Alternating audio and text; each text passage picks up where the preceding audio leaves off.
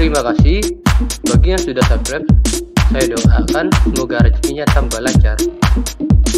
Selamat menonton.